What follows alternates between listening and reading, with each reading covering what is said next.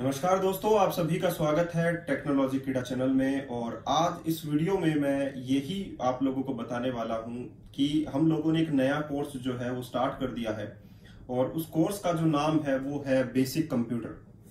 Computer जो है, basic computers जो है इसलिए स्टार्ट किया है क्योंकि दोस्तों, हर चीज़ को स्टार्ट से सीखना बहुत ज़्यादा ज़रूरी और बहुत सारे ऐसे लोग हैं जो हिंदी में कंप्यूटर को सीखना चाहते हैं। कंप्यूटर जो है वो है क्या? कंप्यूटर। अगर हम लोग एक मीनिंग देखें कंप्यूटर एक्चुअल में है क्या?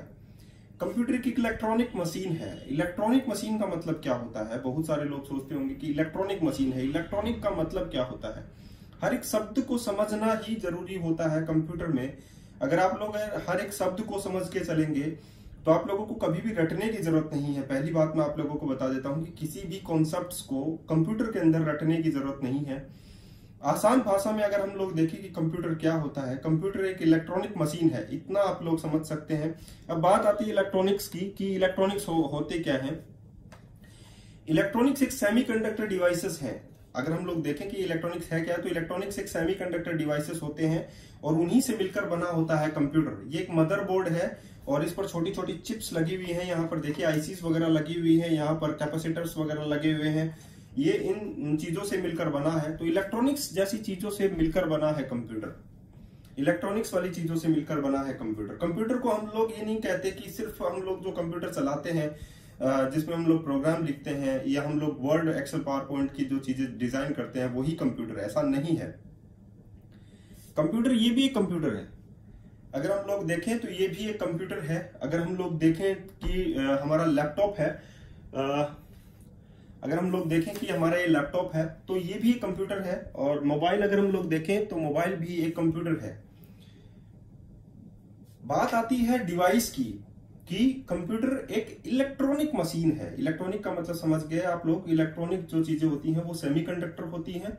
इलेक्ट्रिक जो चीज़ें होती हैं, वो प्योर कंडक्टर बेस्ड होती हैं। यानी कि जिसमें करंट जो है सेमीकंडक्टर का मतलब अगर हम लोग आगे पढ़ेंगे तो ज़रूर आप लोगों को बताऊँगा। अब बात आप आप लोगों को समझ में आ गई कि एक इलेक्ट्रॉनिक मशीन है जो डाटा को एक्सेप्ट करती है।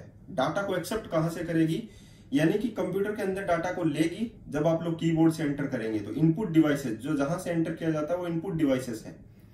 एंटर लेगी यानी डाटा को टेक करेगी यानी कि लेगी और उस पर प्रोसेस करेगी। ठीक है? प्रोसेस करने के बाद आप लोग जो रिज़ल्ट चाहते हैं, वो रिज़ल्ट आप लोगों को देगी और फास्ट देगी। तो एक इलेक्ट्रॉनिक मशीन है जो डाटा को एक्सेप्ट करती है, उस डाटा पर प्रोसेस करती है, उस डाटा को स्टोर करती है और उस डाटा पर कैलकुलेशन करके आप लोगों को आउटपुट देती है। Is a computer it is a computer इसे हम लोग कंप्यूटर कहेंगे। कंप्यूटर जो है सिर्फ़ लॉजिकल चीज़ों को ही नहीं देखता है अर्थमेटिक ऑपरेशंस भी परफॉर्म करता है कंडीशनल परफॉर्म्स करता है। यानी कि अगर हम लोग आर्टिफिशियल इंटेलिजेंस में भी आजकल कंप्यूटर आ गया है, आप लोगों को पता है तो बहुत सारी ऐसी चीज़ें हैं जो आप लोगों को सीखना ज़रूरी है।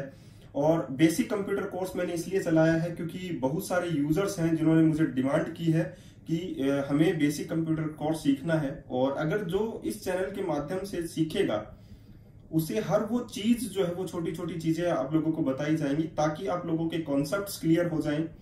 अगर आप लोगों के कॉन्सेप्ट क्लियर हो जाएँगे तो आप लोग किसी भी एग्ज़ाम को आसानी से फाइट कर सकेंगे। इतना मैं आप लोगों को विश्वास दिलाता हूँ, क्योंकि इसमें आप लोगों को कंप्यूटर की जनरेशन क्या होती हैं, कहाँ से कंप्यूटर स्टार्ट हुआ था, कौन सी सन में क्या चीज़ें आई थी क्यों आई थी। इसका रीजन क्यों का जो रीजन है, वो आप लोगों के पास होना चाहिए, क्योंकि अगर आप लोगों के पास क्यों है तो आप लोगों के पास हर वो चीज़ है जो आप लोग जानना चाहते हैं कि मैंने ये कंप्यूटर में क्यों लिखा? ठीक है, अगर आप लोग क्यों करेंगे, मुझे कमेंट के ज़रिए ज़रूर बताइएगा कि आप लोगों को जो चीज़ें समझ में नहीं आई। तो कंप्यूटर की जो डेफिनेशन है, वो मैंने बता दिया आप लोगों को। एक इलेक्ट्रॉनिक मशीन है, जो डाटा को लेती है स्टोर करती है प्रोसेस करती है आउटपुट में रिज़ल्ट आप लोगों को देती है डिफरेंट टाइप के ऑपरेशन उस पर परफॉर्म करती है उस डाटा के ऊपर। डाटा यहाँ पर क्या होता है? आप लोगों के द्वारा इनपुट किया गया डाटा वो किसी भी फॉर्मेट में हो सकता है, चाहे वो ह्यूमन वॉइस हो सकती है, चाहे वो आप लोगों का वेट हो सकता है किलोग्राम का वेट हो सकता है, जैसे आप लोग तराजू पे किसी भी चीज़ को तोलते हैं तो वो भी कंप्यूटर में लिया जा सकता है। फिंगरप्रिंट्स भी एक डाटा है, उस पर भी प्रोसेस कर सकती है। ह्यूमन वॉइस भी एक डाटा है जो कैप्चरिंग है, वो भी एक डाटा है तो डाटा किसी भी फॉर्मेट में हो सकता है, उसका कोई वो नहीं है। उस डाटा को लेती है और उस पर प्रोसेस करती है, उस डाटा को स्टोर भी करती है और उस डाटा पर प्रोसेस करके आप लोगों को आउटपुट भी देती है। तो एक इलेक्ट्रॉनिक मशीन है। ठीक है? तो इतनी बात समझ में आ गई कंप्यूटर की डेफिनेशन अब बात आती है कि कंप्यूटर कोर्स में हम लोगों को क्या क्या सीखना है। कंप्यूटर कोर्स में हम लोगों को इनपुट डिवाइसेस सीखने हैं आउटपुट डिवाइसेस सीखने हैं नेटवर्क हम लोगों को सीखना है और बेसिक सॉफ्टवेयर जो होते हैं वो हमारे चल ही रहे हैं। जैसे कि एक्सेल चल रहा है और जो ऑपरेटिंग सिस्टम है, वो कैसे आप लोगों को जो है कंप्यूटर को चलाना है शट डाउन कैसे करना है स्टार्ट कैसे करना है कॉन्फ़िगरेशन कैसे चेक करने हैं, वो सभी बातें जो है इस कोर्स में मैं आप लोगों को बताने की कोशिश करूँगा। कंप्यूटर की जनरेशन क्या होती हैं, वो भी बताऊँगा। जो सॉफ्टवेयर जो नॉर्मल सॉफ्टवेयर होते हैं, जैसे कि पेंट है वर्ड पैड है और नोट पैड है, ये सभी चीज़ें बताऊँगा। इनसे एडवांस वर्जन की जो चीज़ें हैं, वो भी मैं आप लोगों को बताऊँगा। तो कंप्यूटर जो है, इसी सीखना बहुत ज़्यादा ज़रूरी भी बन चुका है। तो आप लोगों को समझ में आ गया।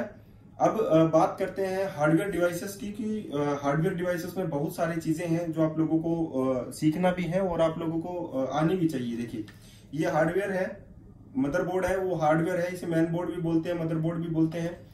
यहाँ पे आप लोगों का जो सीपीयू होता है मैन जो सीपीयू होता है वो यहाँ पर लगता है आप लोगों का।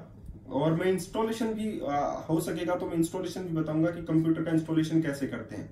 आज के लिए इतना ही। धन्यवाद।